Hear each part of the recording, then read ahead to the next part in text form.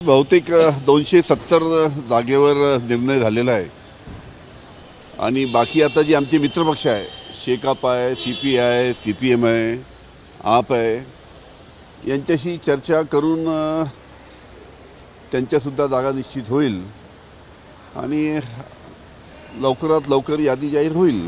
पंच्याऐंशी पंच्याऐंशी पंच्याऐंशी असा संपूर्ण फॉर्म्युला दाखवला आहे. म्हणजे दोनशे पंचावन्न जागा होतात आहे दोनशे सत्तर तुमच्यामध्ये अठरा समजा आपण देत असू तर नेमक्या हे बाकीच्या जागांचं अजूनही हे सुटलेलं नाही समस्या अशी चर्चा पाच सहा जागेवर फक्त चर्चा होईल. पाच सहा जागाच फक्त चर्चेसाठी आहे. बाकी सर्व जागेचा तिढा सुटलेला आहे. अतिशय चांगल्या पद्धतीनं चर्चा झाली आणि निर्णय झालेत.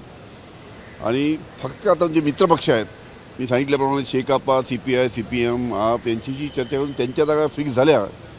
की यादी जाहीर होईल. गणित हे समीकरण कुठेतरी सुटताना दिसत नाही. पंचावन्न पं पंच्याऐंशी पंच्याऐंशी पंच्याऐंशी म्हटलं दोनशे पंचावन्न दोनशे होतात अठरा आपण मित्रपक्षांना देतो आहे म्हणताय. नेमकं पंधरा जागा असतात सहा जागा आपण म्हणत सात आठ जागाच्या बाबतीत चर्चा चालू आहे.